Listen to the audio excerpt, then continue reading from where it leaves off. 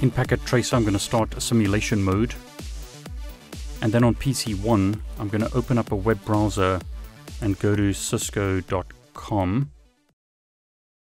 Now, the first thing the PC needs to do is determine the IP address of cisco.com. So it's going to send out a DNS request message for cisco.com. So scrolling down here, notice we've got a DNS query for cisco.com. Capture forward, that gets sent to the router. When it gets sent across the serial link, notice the DSCP is set to zero. No quality of service is applied to this packet.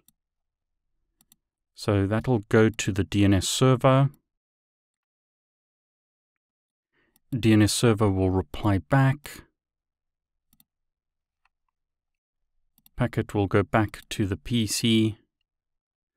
And now the PC can send TCP traffic to the router. PC is going through the three-way handshake. Notice now we get HTTP traffic. Notice on inbound, HTTP traffic, in this case we've got an HTTP request, doesn't have DSCP markings, but on outbound, out of the router, the DSCP is set. So capture forward, notice how this packet has a little square here showing us that DSCP was set on ingress.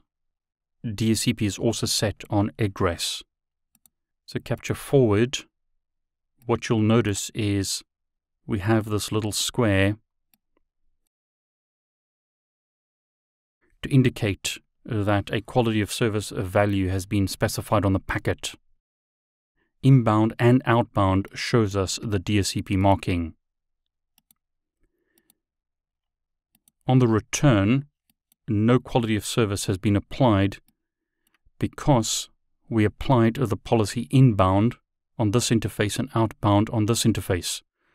So on router 1, notice no quality of service is configured on the packet.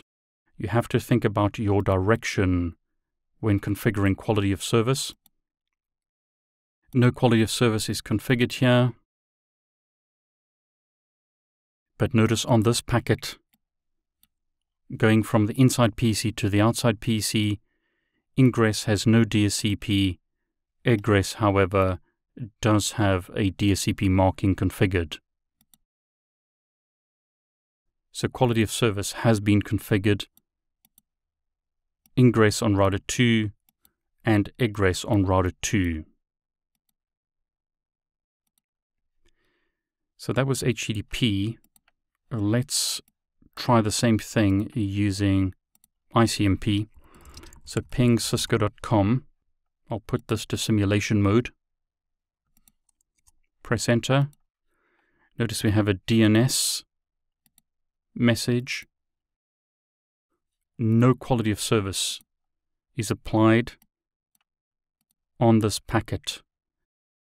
So the packet received from router 1 doesn't have the DSCP configured, and router 2 is not setting DSCP on egress. Because back to the PC, here's our ICMP message. Notice inbound, no DSCP marking, but outbound out of the router we do have a DSCP marking.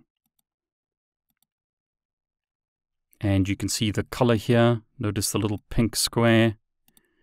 Inbound, we've got this DSCP marking. Outbound, we don't have a DSCP marking. And that's because we configured the router to reset the DSCP or IP precedence of value to zero on egress. So this is set to zero. Ingress, a DSCP value is configured. Now these values can be difficult to read. Remember the type of service field is 8 bits in length. So you'd have to convert this into your DSCP value of AF11. AF11 has a decimal value of 10 or hexadecimal value of A. You can get details of all those calculations in my CCNA course, or you can have a look online. Capture forward for that ICMP packet, there is no DSCP value, no precedence value, because we reset it to zero. Let's do something similar with PC2. So on PC2, I'll ping facebook.com. First packet generated is DNS. DNS will not have DSCP values configured because we didn't configure that in our policy. But notice now, when an ICMP packet hits router 1, ingress DSCP is 0, egress or outbound, the DSCP value has been configured. Capture forward, when it gets to router 2, ingress value is this. Egress value is set to 0 because we overwrote it once again.